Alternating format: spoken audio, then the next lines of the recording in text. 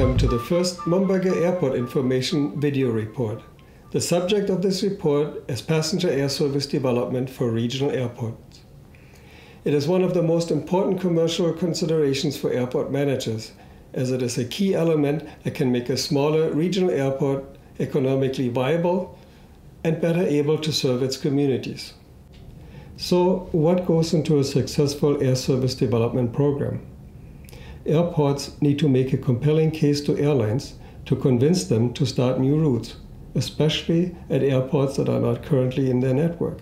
There are issues such as unknown markets, allocation of expensive aircraft, and human resources.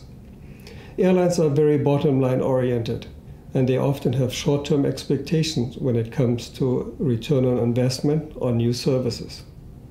We will illustrate a successful air service development program by using one regional airport as a case study the region of Waterloo International Airport, which is about 70 kilometers or 42 miles west of Toronto's Pearson International Airport, Canada's largest international gateway. We spoke to the airport manager, an airline, a regional government leader, and passengers in the wake of a breakthrough success in air service development the launch of twice daily regional jet service between Waterloo and Chicago O'Hare, connecting the local airport to a major US destination and, via its hub there, to the world. The successful air service development has happened despite the proximity of Waterloo Airport to the nearby airline hub at Toronto, with its many domestic and global routes. A lot of hard work over a long period of time has gone into getting the airport where it is today, from a point where it had no air terminal and no commercial air services only 10 years earlier. Let's see how this was possible. We've spent a lot of effort and um, money on uh, understanding what our market is, and which was really key to to everything we've done. Um, I would I would say it's a, a, really nice mix between business and pleasure. Mm-hmm. Um, we have uh, obviously some uh, some quite large uh, industries here in the region that does have a quite a high propensity for travel, business wise. But yet we also have quite a, a wealthy community that does, uh, like all Canadians, enjoy their uh, their time down south and in mm-hmm. the sunnier climates in the winter and uh, and and different destinations as well in the summer for leisure. So it's quite a mix uh, between the 2 mm-hmm. Well, how does the proximity of uh, Pearson International Airport affect your efforts to draw travelers uh, to your airport and airlines as well? Well, it's um, it's both good and bad. Um, you know, I liken it to um, if someone wants to buy a product, being a, an airline ticket, uh, travel to somewhere, they can do that by going you know an hour down the road on most days. Some days uh, longer than an hour.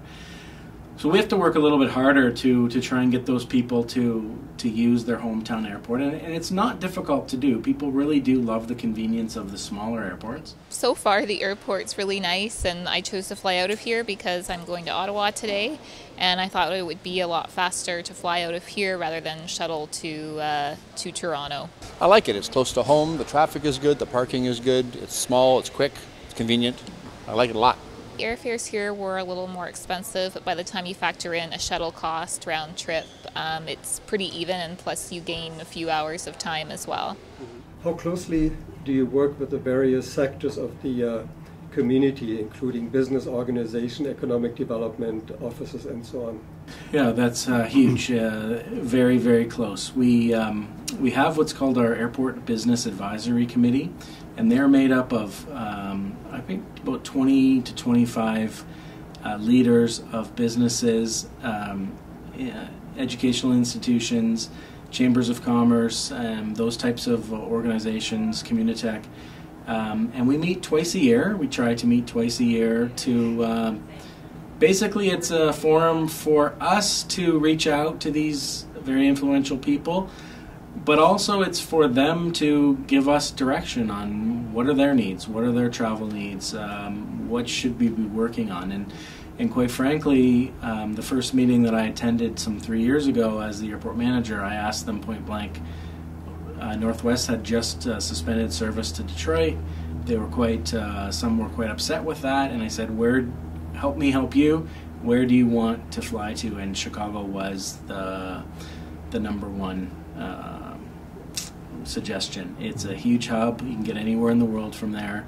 Plus, there's a, a significant O and D travel market mm-hmm. to Chicago as well, which is uh, really key.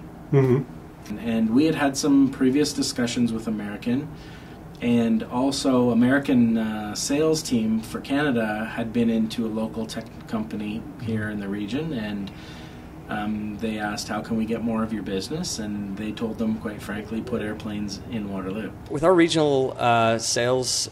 Um, I guess initiative, we kind of go with a boots on the ground approach where we have folks such as myself um, doing sales calls with the airport staff so with Sandra McCauley and um, Chris Wood, we would actually go out and meet with, you know, some of the corporate entities in, in town, as well as also the local travel agencies, mm-hmm. which I was surprised to learn, you know, there's over I think 80 travel agencies within a 50 kilometer radius of just this airport. Mm-hmm.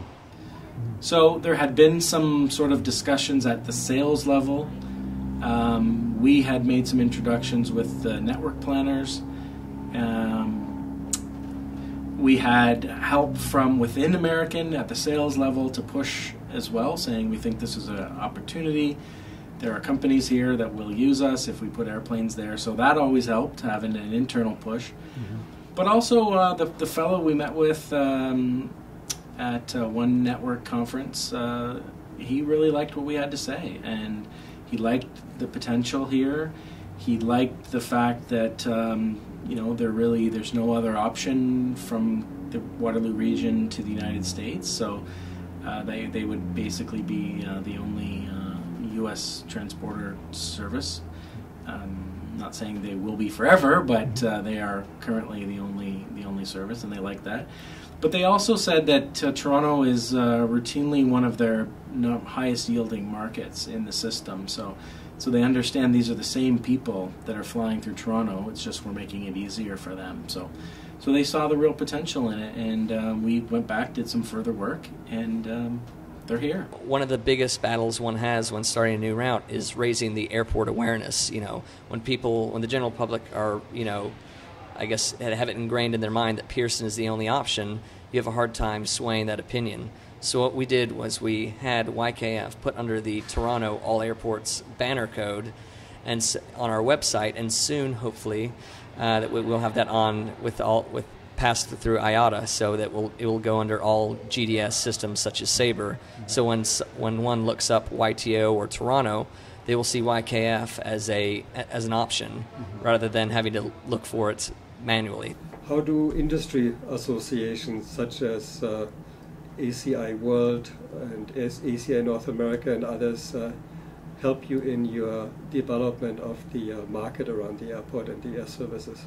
They are helpful, absolutely. This is a this is a success story uh, from Jumpstart. Uh. This was where we met American, or I met American for the first time. Um, started a relationship almost three years ago, and it continued uh, continues today. It's nice that they bring airports and airlines into one room, and uh, you basically do have a speed dating. You can have separate meetings at night over dinner with people if you'd like to as well. You know, American. Uh, has commented a number of times that they have never encountered an airport uh, that has done as much to to help the service along that, that we have. And know, we really understand here that the more successful the airlines are, the more successful we are as an airport. Mm-hmm. So, so we're going to do everything in our power to make sure those airplanes are full. We basically have a marketing budget that we spend promoting the airport every year, and really, in order to promote the airport, you have to promote the carriers that are here as well. We do do some general aviation uh, promotion. Uh, things like that to attract the corporate uh, clients and, and um, you know the private pilots. But most of our budget is spent on uh, the commercial side. So so we work very closely with our with both partners, WestJet and, and Bearskin as well, to to help them as much as we can. Mm-hmm. And uh, I think they're very appreciative. How about your infrastructure development? Airlines like to see certain things. You like to see a revenue build up first before spending again on infrastructure? How how's that? Yeah. are you keeping pace of uh, Air, airlines? Are uh, you know they're they're funny in a way because they want the um, they want the upgraded infrastructure, but they don't want to pay for it. Mm-hmm. And uh, so we've done a, a, fairly good job of keeping up on on things. We've done quite a bit out there. You know, every inch of asphalt out there is under five years old. Uh, we have a new, uh, brand new uh, maintenance facility. We have you know fire service. So those are all things that we've had we felt we needed to do in order to be in this game of uh, of commercial service. The passengers love the convenience and the ease. Uh, you know, it doesn't take. You know, if you walk 200 steps between your car and the, the airplane, is uh, that's a lot. That's about it. So, mm-hmm. and you know, you check in in a couple minutes. Your security through friendly security mm-hmm. staff and you can have a, a drink now or, or a meal in in our uh, licensed restaurant at Beyond Security, and you walk out to the airplane. So, um, so yeah, they, I don't think infrastructure plays a, a, role. I think it could if we didn't have some of the things that um, that the airlines mm. expect, but but we have everything that they're looking for and more. We're always looking to upgrade the airport. We have a long range capital program for it. We rebuilt the uh, terminal more recently to handle bigger loads, passenger loads. Uh, we've actually expanded it since the original uh, work done there. Uh, we've redone the main runway recently. Uh, we're looking at with NAV Canada perhaps a new tower going in the facility. And in addition to that, there's also some industrial sites around the airport that are being developed. Our, our big thing now is, you know, we serve Western Canada, we serve the United States through a major hub, we serve the business market of Ottawa and Montreal. Uh, we think there's a huge opportunity for a flight to Halifax. Um, Halifax, probably. I go to Halifax quite a bit. Um, WestJet is doing extremely well here. Uh, they've been here now five years. Their flights are continually growing year over year. The the shoulder periods are really starting to flatten out now. It's pretty busy all year now for, for WestJet, where it used to be peak pockets where it was busy, and, and now it's uh, it's pretty steady all year round. So so we're hopeful that WestJet's uh, interested in doing a little bit more. Uh, they have a, a, nice infrastructure here as well with their staff, so we think it uh, it only makes sense for WestJet to add some service. Vacation charters, I think, is a is a no brainer. That um, you know it, it just seems to be the that sort of part of the industry has really gone through a big consolidation. So so it's you know we're we're a little small for some of the players. Um, Air Transat, for example, they're uh, large airplanes.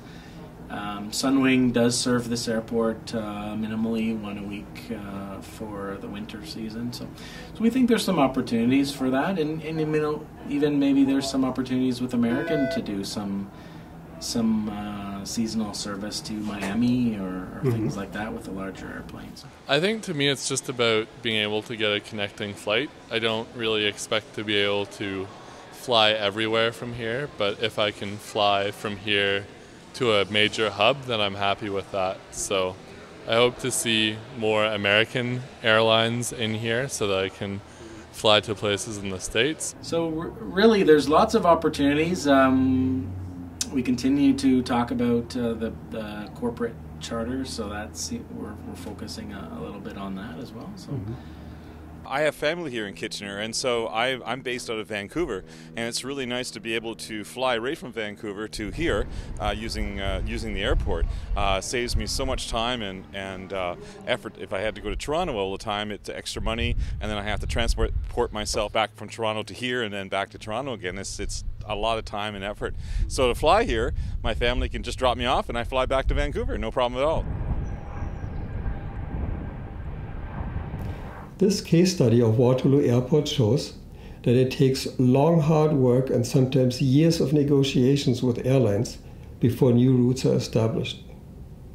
It takes solid data and traffic projections.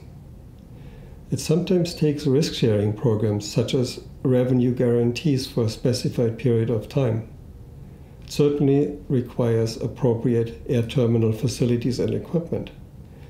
But most of all, it takes the support of the entire local community and government to make a compelling case to airlines before they are prepared to allocate resources to new markets and new routes.